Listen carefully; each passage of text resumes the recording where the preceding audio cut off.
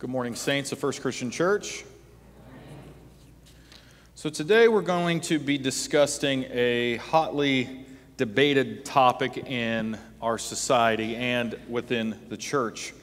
Now, before we do that, I would ask that we would take some time uh, and pray um, that we approach the throne of God with humility, that as we approach this subject, you may come to find that what you once thought about it was an error and we must be humble enough to submit to the Word of God and have the Word of God and the Holy Spirit transform us rather than for us to impose and transform the Bible. Let's pray. Father God, I ask that as we enter this time of worship, as we enter this time of going through your Word, we ask you, Lord, that your Word would convict us, would guide us, would humble us, that we would submit entirely to your Word, to the Holy Spirit and his conviction that our lives would align with your word, not as we impose our lives upon your word and change the very words that you have blessed us with. Help us, Father, uh, to face our own bias, to face our own prejudice, or face our own bigotry, that we uh, would humbly serve you and that we would receive your word with great humility. It's in Jesus' name we pray. Amen. Now, today I'm going to be approaching this subject from a Christian standpoint, meaning I'm not trying to convince non Christians. I'm wanting to address Christians who affirm the subject matter at hand. Today, we are going to address the question what does the Bible say about homosexuality? The approach is to address the objections that are brought forth by affirming Christians, not trying to convince non Christians. But first, we have to be honest we have to be honest where this debate really lies. This debate is not actually about homosexuality. The debate is framed that way. In fact, that's the banner that people stand behind, but that's not really what the debate is over. The debate is over 2 Timothy 3 16 through 17.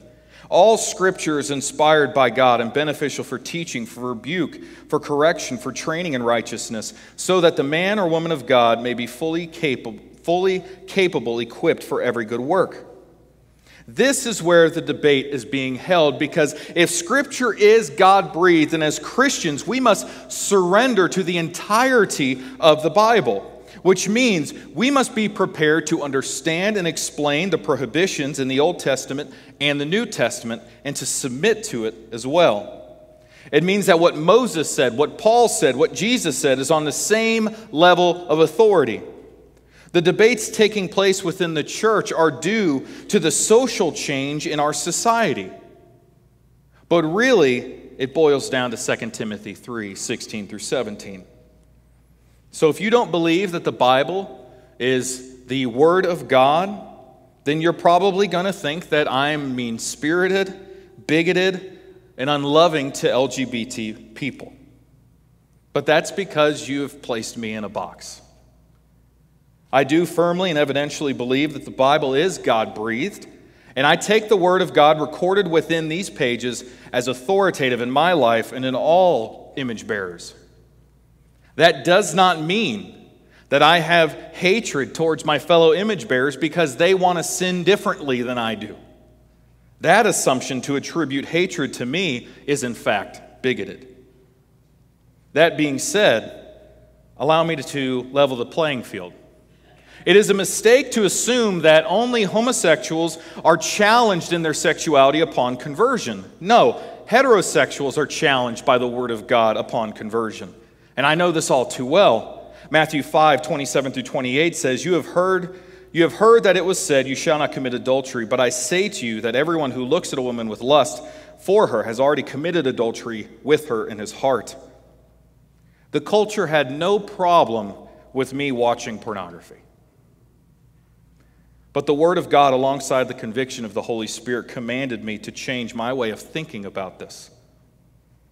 In the same way, the debate over homosexuality is not about being gay or whether or not you're acting on gay desires. It is ultimately about the authority of the Word of God.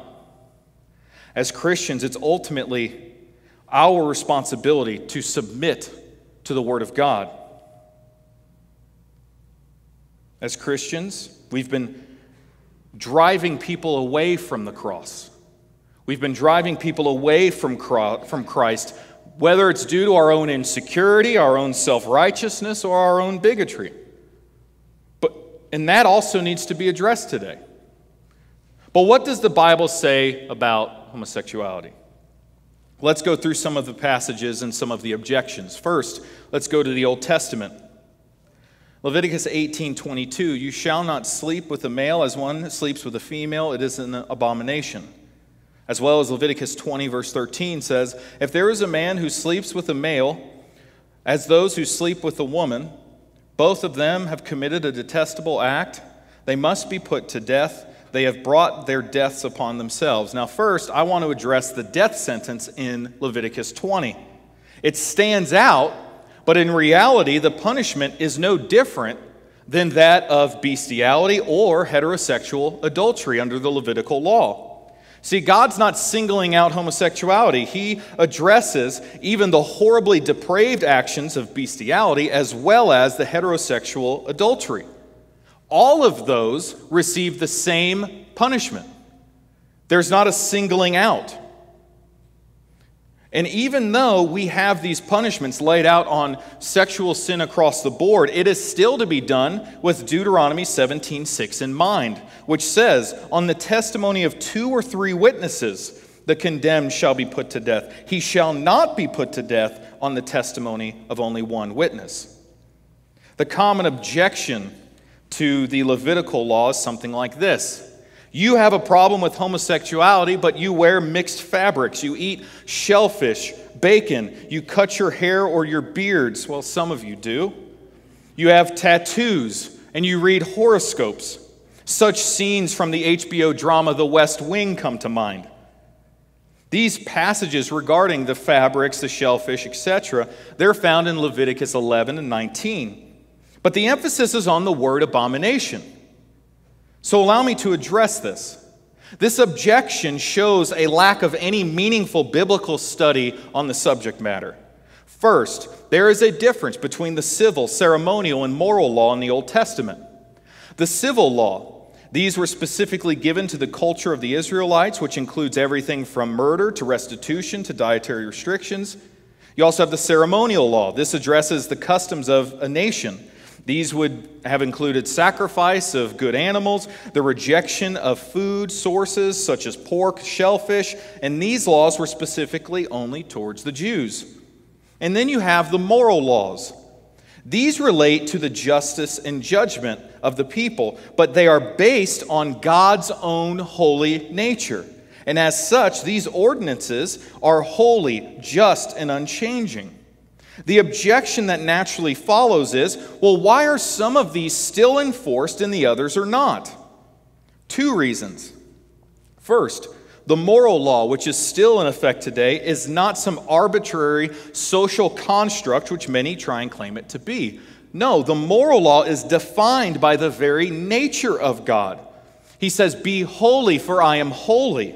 He makes such proclamations in Leviticus 19, 20, 21, and Exodus 19. The moral code cannot change because God's morality, character, and nature does not change. Hebrews 13:8 Jesus Christ is the same yesterday, today, and forever. Malachi 3, the first part of verse 6 For I, the Lord, do not change.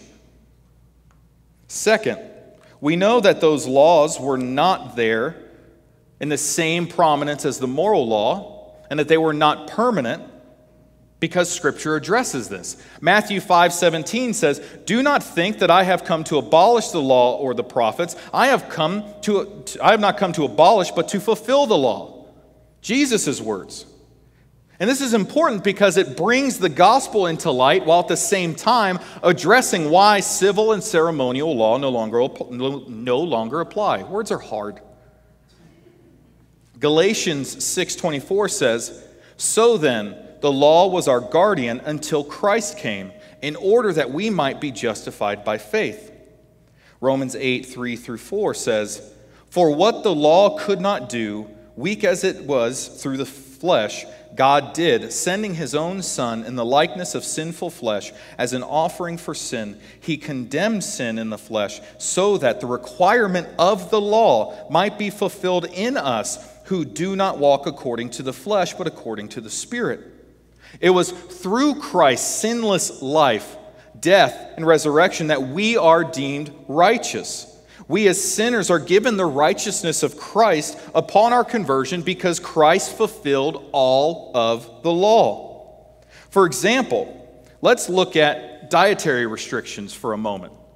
Anybody else here like lobster and, you know, shrimp? Yeah? We should probably know this. In Acts chapter 10, the question is why don't Christians adhere to the dietary laws. In particular, let's look at unclean animals. In Acts 10, verses 19 through 16. On the next day, as they were on their way and approaching the city, Peter went up to the housetop about the sixth hour to pray. But he became hungry and wanted to eat. But while they were making preparations, he fell into a trance. I know when I'm praying and I'm hungry, feels like that too. And he saw the sky opened up and an object like a great sheet coming down, lowered by four corners to the ground, and on it with all kinds of four footed animals and crawling creatures of the earth and birds of the sky. A voice came to him Get up, Peter, kill and eat. But Peter said, By no means, for I have never eaten anything unholy or unclean. Again, the voice came to him a second time. What God has cleansed, no longer consider unholy. This happened three times, because that's kind of the way Peter does things. And immediately the object was taken up into the sky. We see later in this chapter that God was showing Peter that it went far beyond the food. In fact, God shows us it wasn't about the food. Unclean food and unclean people were treated the same way, with aversion and neglect. And that's what the church has done to LGBT people. God's people look down on those who are considered unclean. And in Acts 10, God was not only removing the dietary law, he was explaining to his people that the gospel was now being available to the Gentiles, those who were considered unclean. And this also goes for the other objections for the clothes, the hair, the tattoos. These things were not meant to terminate upon themselves we find that what God was pointing to all along was the obedience of his people to obey him and to be set apart from the world. If I had to sum up the civil and ceremonial laws, it would be that way that his people would be obedient and that his people would be set apart from the world. Deuteronomy 14, 2, you have been set apart as holy to the Lord your God and he has chosen you from all the nations of the, of the earth to be his own special treasure. New Testament, 2 Corinthians 6, 16 through 17 says, Or what agreement does the temple of God have with idols? For we are the temple of the living God. Just as God said, I will dwell among them and walk among them, and I will be their God, and they will be my people. Therefore, come out from their midst and separate says the Lord. Do not touch what is unclean, and I will welcome you, and I will be your I will be a father to you, and you, and you shall be sons and daughters to me, says the Lord Almighty. Paul is citing from Isaiah and Ezekiel, both under the old covenant, which we find Leviticus. God has called his people to be different, to be set apart. That's where the ceremonial and civil laws have gone, in the conduct and character of God's people. And since we have limited time, I'm halfway through and we don't have all day. I haven't even gotten to the New Testament, and that's what we need to focus on. I also haven't even gotten to where the, the church is to respond to this. So we don't have time to get into creation. God created them male and female. We don't have time to get into Sodom and Gomorrah. And we don't have time to talk about pagan practices which used homosexuality in their idol worship. To recap, all scripture is God breathed. What we just went through in the Old Testament is God breathed, and He does not condone homosexual relationships. What about the New Testament? What did the apostles say? What did Jesus say about homosexuality? The apostles first. We just went through God's command of his people to be different from the world. We have God's people, we have the world. We are to be separate, we are to be different from the world. And in Romans 1, Paul addresses the world. And in this, we find that God addresses what he has done with the world. Why has God called us to be apart, to be separate from the world? Well, we find it in Romans 1. Romans 1 21 through 32 says, For even though they knew God, they did not honor him as God or give thanks, but they became futile in their reasonings, and their senseless hearts were darkened. Claiming to be wise, they became fools, and they exchanged the glory of the incorruptible God for an image in the form of corruptible man, of birds, of four footed animals, and crawling creatures. Therefore, God gave them up to the vile impurity and their lust of their hearts, so that their bodies would be dishonored among them. For they exchanged the truth of God for falsehood, and worshiped and served the creature rather than the Creator, who is blessed forever. Amen. For this reason, God gave them over to degrading passions. For their women exchanged natural relations for that which is contrary to nature, and likewise the men too abandoned natural relations with women and burned in their desire towards one another, males with males committing shameful acts, receiving in their own persons the due penalty of their error. And just as they did not see fit to acknowledge God, God gave them up to a depraved mind, to those things that are not proper people, having been filled with all unrighteousness, wickedness, greed, and evil, filled with envy, murder, strife, deceit, and malice. They are gossips, slanderers, haters of God, insolent, arrogant, boastful, inventors of evil, disobedient to parents, without understanding, untrustworthy, unfeeling, unmerciful. And although they know the ordinance of God, that, they, that those who practice such things are worthy of death. They, they, do, they not only do the same, but they approve of those who practice them.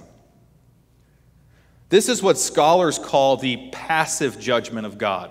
When we look in the Old Testament, we see God say, Don't do this, or I'm going to punish you. Well, what do we do? We go and do it, and then God brings justice. But here in Romans 1, we see something far more terrifying than fire and brimstone. God says, okay, have it. God created everything that we would be drawn to Him in worship. And what the fall of mankind showed us is that man said, Forget you, God, I'll do what I want with the things that you have given me.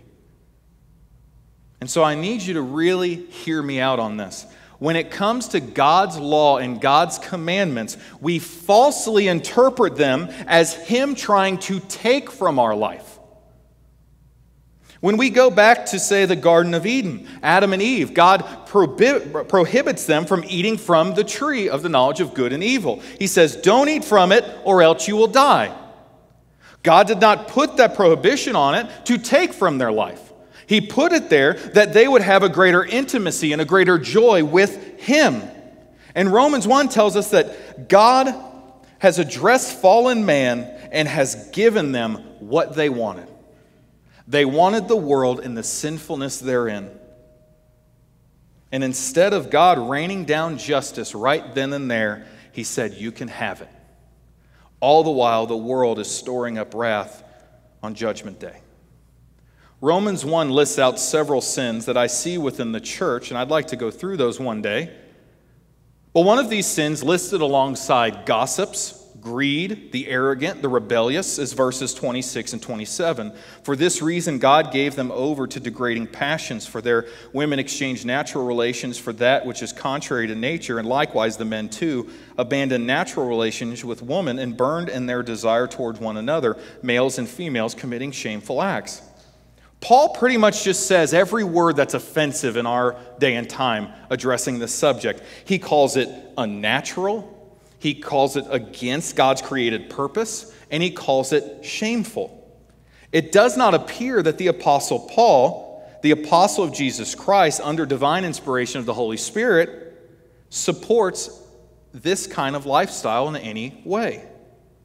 But what about Jesus? What did Jesus say regarding homosexuality? The objection that comes up, which you may have heard, is Jesus says nothing about homosexuality. Maybe you've heard that. And again, this claim is a sad result of poor biblical exegesis.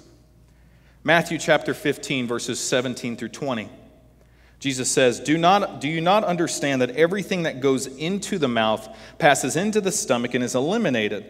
But the things that come out of the mouth come from the heart, and those things defile a person. So, what's Jesus setting up? He's setting up that, listen, you're getting caught up on what you're eating, you're getting caught up on the things. I care more about what is coming out of the person than what is going into their mouth. You're getting caught up on eating food from idols. I care about the idolatry in their heart that is coming out. He's addressing what he's been trying to address with Israel from day one is I require obedience, not sacrifice. And he continues, he says, For out of the heart come evil thoughts, murders, acts of adultery, other, other immoral sexual acts, thefts, false testimonies, and slanderous statements. These things, that these things are the things that defile a person. But to eat with unwashed hands does not defile the person. Now, in this text, we come across a word. I don't roll my tongue, my, my, my R's very well, so I'm just going to enunciate it. Porneia. And in this definition of this word, we find every illicit sexual deed. We find adultery, fornication, homosexuality, lesbianism, intercourse with animals, etc., sexual intercourse with relatives, sexual intercourse with an unbiblically divorced man or woman. It covers everything from adultery to bestiality.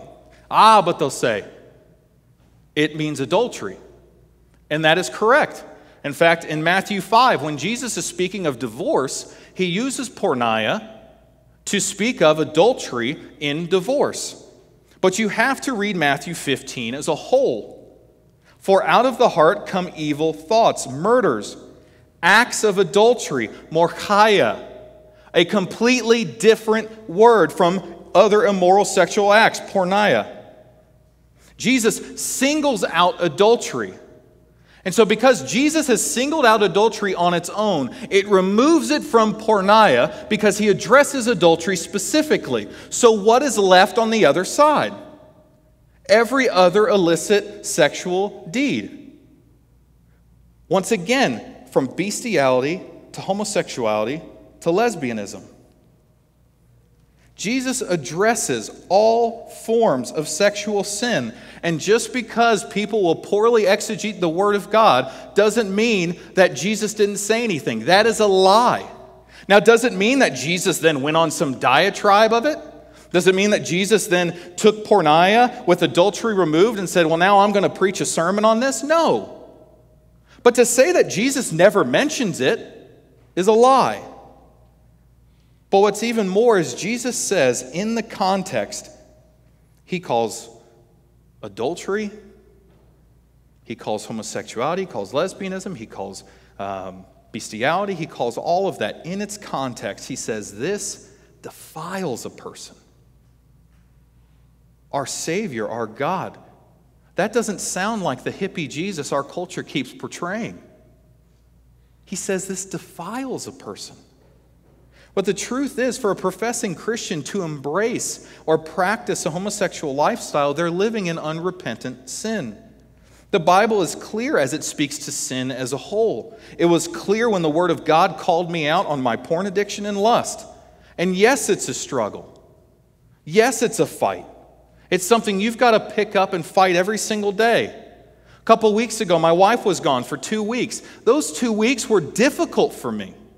I understand how you have desires that do not line up with Scripture and how difficult that can be. But the last thing we should do is change the Word of God to accommodate our desires and what we struggle with. Our desires are not the barometer of godly conduct. The Word of God is the standard. And in that, we have the grace of God to fall upon. There are two sins being committed in the circle of Christianity regarding homosexuality. First is unrepentant homosexual practice, and the, and the second is changing the Word of God. Which one do you think I'm more concerned over? The latter. Changing and tampering with the Word of God is the biggest problem in Christendom. Since we're talking about opinions, I might as well weigh in. I want to address some of the problems I have with the LGBT movement, which I can summarize in one word defining. The first problem I have with the LGBT movement is people will wrap their identity in their sexuality or sexual proclivity, meaning image bearers of God are rejecting their personhood, which is defined by the Creator, and they are placing their identity in their sexual desires. And that is a serious problem. I was talking to my friend Michael this past week, and he said, if I could describe myself in 10 words, being gay would not even be on that list. And he's absolutely right. But that's not what we're seeing in the generation coming up, is it? No, your sexuality is paramount to who you are as a person. No, it's not. To define yourself in your sexuality, you are defining yourself on shifting sands. There's absolutely no foundation in defining your existence as a person and who you are by who you are sexually attracted to. And I would say that to heterosexuals who put their value and their worth in their spouse, who find their meaning and purpose in their job, who wrap their entire existence up in their children. These do not define your foundation as an image bearer of God. And this brings me to the second problem I have. My friend Michael went on to say to me, he said, I think that's why I'm okay with you not being okay with everything I do. I'm thankful that he can see that my love for him is not found in his homosexuality. And this is the other problem I have with the LGBT movement. My love and affection for you is not found in my acceptance of all that you do. If you define love and acceptance by condoning behavior that is, according to Scripture, destructive to your existence as God's image bearer, then you do not know what love and acceptance means. The problem I have is this defining of oneself and defining of one's loving relationships, which are fatally flawed in this movement. My love for Michael is not going to be found in my condoning, my encouraging, and my participation in a homosexual lifestyle. It's going to be found in my commitment and sacrifice to Him. And as a church, we need to be open to keeping our doors and our lives available for people who are struggling with this. We need to welcome them into our home, welcome them into our family, sacrifice for them. That's where our love and acceptance is found because you are a fellow image bearer of God. But this brings us back to the underlying issue. If the Bible is 2 Timothy 3 16 through 17, what should be the Christian response? I want to introduce you to two gentlemen that I greatly admire. The first is Christopher Yuan. While he was in graduate school, he developed a drug addiction. And in graduate school, you don't have much money, so in order to feed his addiction, he began selling drugs. So he sold them to classmates, he sold them to friends, he even sold it to a professor. And he said in one of his lectures, I actually thought that I could lead a double life of being a graduate student by day and a promiscuous drug dealer by night. Three months before receiving his doctorate, he was expelled from school. He moved to Atlanta and ended up being a supplier for a supplier for several dealers in over a dozen states. When he was arrested, he was charged with the street value of 9.1 tons of marijuana. Christopher spoke of this life saying, It was not uncommon for me to have multiple anonymous partners every day. Now, I'll give you a chance to listen to his testimony. I'd recommend you look him up on YouTube and listen. But I also want to tell you about his parents. He had two parents who loved him and loved Jesus more. They didn't know everything that was going on in Christopher's life, they just knew that Christopher needed Jesus. Christopher recalls the fervent love of his mother, who fasted every Monday for seven years, one time 39 days on his behalf. She went so far as to pray this terrifying prayer Lord, do whatever it takes to bring home this prodigal son. Long story short, he came to faith, but it was while he was in prison. He saw this book that caught his eye and he picked it up, and it was a Gideon's New Testament. And he thought, I have a lot of time on my hands to pass. I might as well do it somehow. Christopher brings it all back to the problem at hand. He says, But as many of you know, what we have in our Bibles is not just ink on paper, But we, what we have in our Bibles, ladies and gentlemen, is the very breath of God. Faced with this, Christopher sought counsel from a prison chaplain who said, The Bible doesn't condemn homosexuality. And he gave him a book on it. Christopher goes on in his lecture to say this I had that book in one hand and the Bible in the other. And from a purely humanistic perspective, I had every reason in the world to accept what that book is claiming to justify the way that I was living. But God's indwelling Holy Spirit convicted me that those assertions were a clear distortion of God, His Word, an unmistakable condemnation of same sex relationships. I couldn't even finish the book, and I gave it back to the chaplain. I would encourage you to listen to his testimony.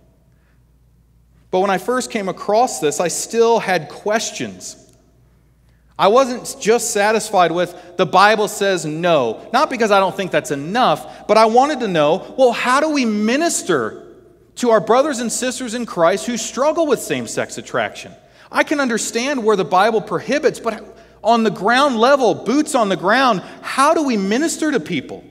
How do we care for them? And that's when I came across Dr. Wesley Hill. He is a minister who has same sex attraction, but like Christopher Yuan, practices celibacy for the sake of the gospel. For the sake of the gospel. Now, I admire him because he gives biblical application to this truth. The Bible does not support same sex relationships. But what he does is he puts it into a perspective that allows us to minister to our brothers and sisters. Two books that he wrote that I would recommend reading Washed and Waiting Reflections of a Christian, Christian Faithfulness and Homosexuality. But another one that I would strongly recommend is called Spiritual Friendship Finding Love in the Church as a Celibate Gay Christian. I'll break it down in my own words, but essentially, what he promotes is to build strong, godly, loving friendships with LGBT people. Meaning, females who have the same sex attraction, that there will be females in the church who will develop a strong, godly, loving friendship with them. And the same thing goes for men. The reason is, is, is for this purpose that we have an, an ingrained desire to have relationship. But what we are doing as a church is we are facilitating that in a biblical and godly way. This gives us the opportunity to minister to them while building them up in Christ and helping them to continue to fight this, this battle, these temptations. And in fact, this is true across the board. This needs to become a priority for us all. When one of our brothers or sisters in Christ is struggling, we need to sacrifice and make time for them. In fact, anyone who is feeling alone, whether the loss of a loved one or moving to a whole new location, it's important that they know that they are a part of the body of Christ. And this brings me to the conclusion of the sermon, which is where the church has failed. Now, I want to make this very clear. It is not Christ who has failed them, we have failed them. And I believe in so doing, we have failed Christ. 1 Corinthians 6, 9 through 11. Or do you not know that the unrighteous will not inherit the kingdom of God? Do not be deceived neither the, neither the sexually immoral, porneia, nor idolaters, nor adulterers, nor homosexuals, nor thieves, nor, nor the greedy, nor those habitually drunk, nor verbal abusers, nor swindlers will inherit the kingdom of God. Such were some of you, but you were washed, but you were, but you were washed, but you were sanctified, but you were justified in the name of Jesus Christ and in the Spirit of God. And this is where the church has failed. For some reason, we seem to think that our sin don't stink. So allow me to illustrate. Looking at verse 9, we see sexually immoral, porneia, idolaters. Have you ever put anything or anyone in the place of authority of your life, in the lordship of your life? Ever had an addiction, a significant other, your own family? Adulterers, have you ever had an affair, lusted over someone, watched pornography? Thieves, have you ever stolen anything? That includes little Zachary's eraser in first grade. Greedy. Ever craved more, especially that which is someone else's? Habitually drunk. Verbal abusers. Some translations say revilers. Have you ever abused someone with your speech? And swindlers. Have you ever manipulated someone for your own personal gain? Where the church has failed is we seem to think that the Bible only has something to say about homosexuality. But we have forgotten, as Christians, probably one of the most beautiful verses of the gospel in all of Scripture. Verse 11 Such were some of you. But you were washed, but you were sanctified, but you were justified in the name of the Lord Jesus Christ and in the Spirit of our God. We've made the mistake of thinking that someone needs to stop being gay before they kneel at the cross. I was a perverted, porn addicted, angry manipulator when I came to Christ. Did I need to stop my sin before I fell upon his mercy? If I could, if any of us could overcome our sin apart from the cross, then there'd be no reason for the cross. No, we are to come exactly as we are. Such were some of you. That's who you used to be, defined by your sin and separated from God. But someone changed that, didn't he? When Christ entered your life and took lordship of your heart, he got to work. Amen? And our LGBT brothers and sisters in Christ are not more sinful than we are, and yet we treat them as less than. For us to treat them as anything less than our own flesh and blood, our own sons and daughters, our own brothers and sisters, means that we have failed one another.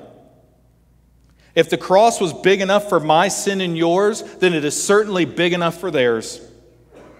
The truth of the matter is, is our doors are to be open. Our arms are to be open. Our homes are to be open. And why? Because our Bibles are wide open.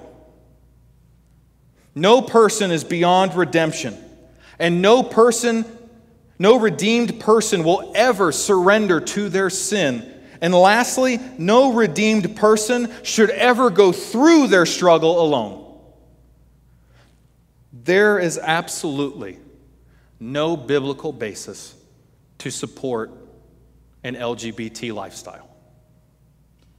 But there is also no biblical basis for us to ever drive any of them away from the cross of Jesus Christ. And that is the dilemma.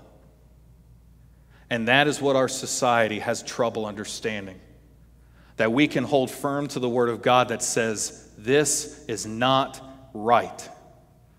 And yet, we can still love, care for, cherish, and nurture a godly friendship with other people. Maybe this is something that you have to wrestle with. Maybe you have some inner struggle that you're dealing with from whether it's same sex attraction or whether it's you have this really negative and, and, and, or, or this kind of animosity towards the LGBT people. I don't know. Maybe you have Maybe this just hit nothing today because you have something going on in your life that is weighing on your heart, and it is just a miracle you ended up here today. You're worn out, you're tired, whatever the reason may be. During this time of invitation, I want to encourage you if it has nothing to do with this sermon, or if it has everything to do with the sermon, I want to encourage you to meet me in the back and allow us to minister to you, to pray with you, and to help you. Let's pray. Father God, we thank you for your word. We thank you, Lord, for the conviction of your Holy Spirit that we would grow closer to you.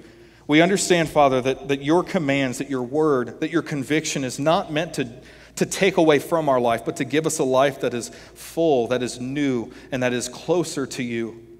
I pray, Lord, that you be with us as we address your word and, and certain topics like this that are very difficult. When our culture says one thing, when we have professing Christians saying, something that is completely unbiblical or something that is completely untrue, it really gets in the way of the true gospel. Help us, Father, to work through any of the struggles that we may be having. I pray, Father, if there's anyone here who is struggling with same sex attraction, that we would be able to, to come close to them, that we would be able to love them and nurture them in their Christian walk. And Lord, if there's anyone here who has any sort of indignation towards the community, I pray, Father, that you would convict us, that we would be arms open, not condoning of sin, but that, that we would open up our lives, that we could love people in spite of sin.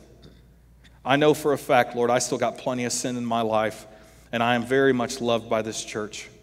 I pray, Father, that you bring more people that we can love them and care for them. and call them to a deeper walk with you. It's in Jesus' name we pray. Amen.